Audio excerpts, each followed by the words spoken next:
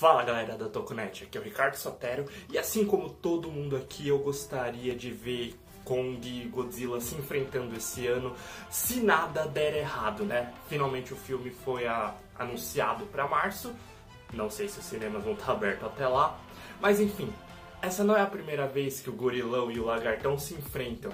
Esse filme meio que já foi feito lá em 1962 chamado King Kong vs Godzilla, que teve uma versão americana e uma versão japonesa, em que seus respectivos monstros ganhavam de acordo com seu país. E a primeira vez que o King Kong apareceu num filme japonês? Não necessariamente. Depois ele teve seus próprios filmes pela Toho, porém, há muito tempo atrás ele já tinha tido seu filme próprio, lá nos anos 30 que nós podemos considerar talvez o primeiro Tokusatsu? Hum, talvez sim, talvez não. Porque a maioria das pessoas falam que o Tokusatsu surgiu nos anos 50. E não tá errado.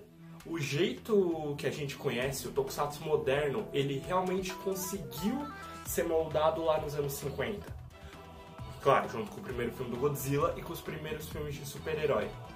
Porém, nos anos 30, antes disso e até mesmo nos anos 40, já existiam filmes que usavam os conceitos que ajudaram a moldar esse gênero, como que usavam é, efeitos especiais exacerbadamente ou até mesmo monstros gigantes. Nesse naipe, nós temos o filme A Chegada do Grande Buda, pelo menos que eu consigo me lembrar agora, e o nosso foco aqui nesse novo quadro, que é o filme King Kong Aparece em Edo, que como o próprio nome diz, se passa na era Edo. Então prepare o seu robô gigante e venha comigo para mais um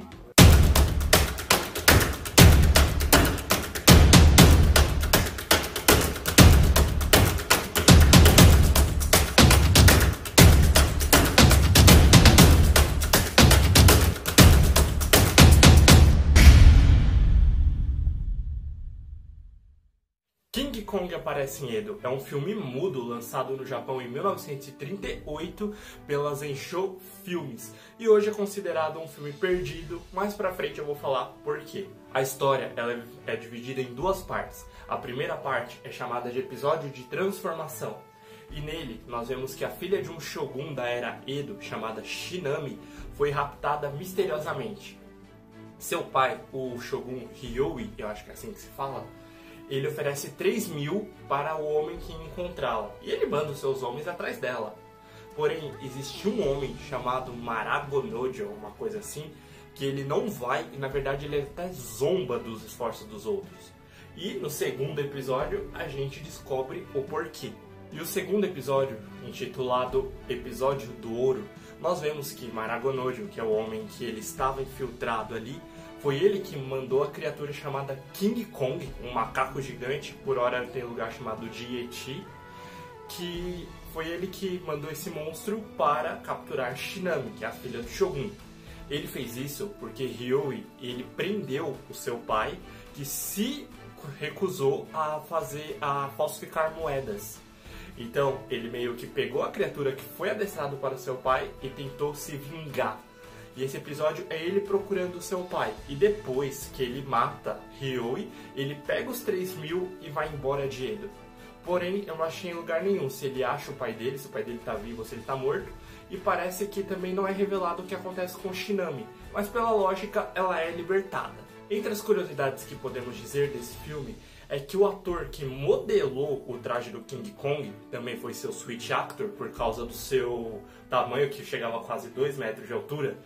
Anos depois, ele ajudou a modelar o traje do Godzilla, que seria usado em 1954. Também, os... o tamanho da criatura nos panfletos de divulgação, ele variava. Tinha hora que o bicho aparecia gigante, tinha hora que aparecia em tamanho normal. E isso fez pessoa, as pessoas ficarem confusas. Afinal, qual era o tamanho da criatura? Porém, alguns historiadores acham, alguns estudantes desse filme, acham que o fato dele ser mostrado gigante é para ir no, no sucesso do, do filme do King Kong, que inclusive naquele ano havia sido relançado. Isso me lembra Karate Kid, que é Karate Kid e, e depois vira Kung Fu, né? O nome é só pra surfar. E lembra que eu disse que esse filme ele é considerado perdido? Bom, As cópias deles estavam em armazéns de Hiroshima e Nagasaki. Um ano depois dele ter sido lançado, em 1939, foi estourou a Segunda Guerra Mundial. Então, a gente já sabe o que aconteceu, né? Porém, mesmo assim, surgiu em 2012, ou melhor, em meados daquele ano ali, um clipe de filme no YouTube que disseram ser desse filme. Porém, é fake. O monstro que aparece ali é uma montagem com a criatura do filme Yeti, é, O Monstro do Século XX. Eu fui pesquisar e o filme nem sequer é japonês.